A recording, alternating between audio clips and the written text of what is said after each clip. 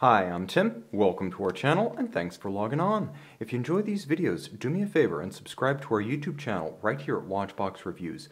I would really appreciate it, and I promise to update daily. If you love this watch, you can see it and you can purchase it on our website, thewatchbox.com. Today, we are discussing what might be the most underrated Omega watch in the Western markets. The East already knows about the Omega Griffin Claw constellation and has for quite some time, but we often underrate one of the pillars of the traditional Omega brand. It's not a Seamaster, it's not a Speedmaster, and thank goodness for that, because the constellation on my wrist, 38 millimeters in stainless steel and red gold with integrated bracelet is the closest thing you can get to an Omega Royal Oak. It truly feels that it's drawn from the same aesthetic tradition as well as standard of build quality. On my 16 centimeter circumference wrist, you can see that the case 38 millimeters in diameter doesn't wear like a conventional 38. It's very much in the tradition of the cushion cases of the 1970s. The watch measures a remarkable distance across the wrist, remarkable because it's so short, 44.8 millimeters from pivoted end link to pivoted end link. That's the span of this watch, making it viable on wrists as small as 13.5 centimeters circumference. It's thin too, 12.6 millimeters thick with a sloped case flank, easily fit this watch underneath a dress sleeve cuff. Now the timepiece is very solid and quite substantial. I almost have visions of old Piaget polo bracelets or Omega lobster tail bracelets when I look at this integrated bracelet on the 2009 model year Connie, and that is what you're looking at. You're looking at the 2009 model year Constellation family.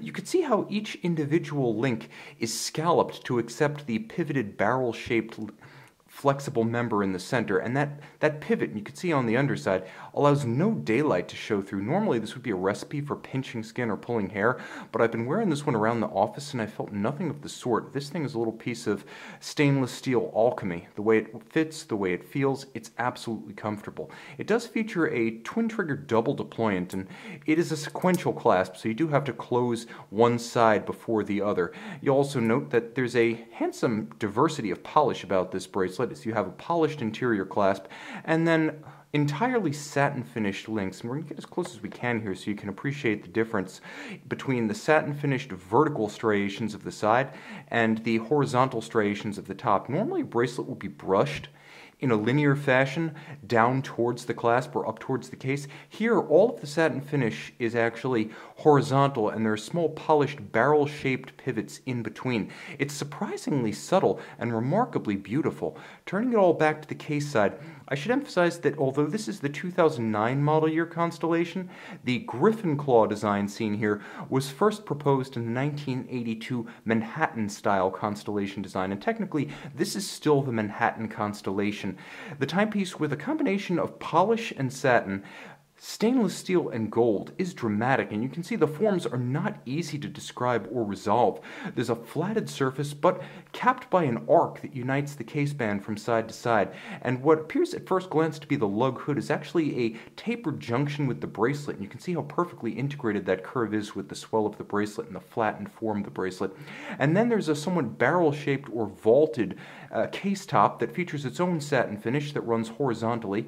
On the edges, you can see that there is a vertical vertical satin finish and then polish about the griffin claws that retain the bezel. The bezel itself featuring a stylized form of engraved Roman numerals that can be read outboard of the applique rose gold hour indices on the dial. A sunburst in silver you can see on the dial absolutely bewitching, especially since if you look carefully, you can see that the origin point of the sunburst is actually the star at 6 o'clock. It's not the center of the dial. This watch absolutely rife with pleasing details. There's a black on silver print. We're going to get as close as we can now and afford ourselves a little bit more light to appreciate some of these details. But it is a remarkably dynamic dial. Thanks to the wasp-waisted faceting of those indices, you can see that they're narrow at the center and they flare at their edges. So not only are they faceted, not only are they polished, but they're unconventional in their form. At center, a sort of tapered Dauphine hand. It's not a conventional Dauphine. It's broad at the center and then the swell diminishes with a sloping, graceful arc uniting in the tips of the minute hand and hour hand, Lancet-style counterweighted seconds hand with a trapezoidal applique rose gold window for the date, rose gold applique Omega Marquis. Uh, the crown is a pushdown, but the watch is 100 meters water resistant, display case back, sapphire style, caliber 8500. For 2009, the Constellation gained the 8500. Twin mainspring barrels for even torque release from maximum to minimum wind. 60 hour power reserve. Uh, free sprung balance with a full balance bridge for shock resistance. This was before the silicon hairspring, but the watch is a coaxial chronometer featuring the exotic tangential contact George Daniels tri-level coaxial escapement. Very precise long-term timing stability, and reduced long-term maintenance needs. It features both hacking or stop seconds, as well as a clever time zone function that allows you to actually move the hour hand forward and backwards, including crossing the international date line. You can see how it can drive the date in both directions. 25,200 vibrations per hour. This is the most unconventional of modern Omegas. And if you don't hail from an Eastern watch market, you hardly ever see one. You need to consider it because it's a secret winner, a stealthy champion. See it and make it yours on the Watchbox. Omega Constellation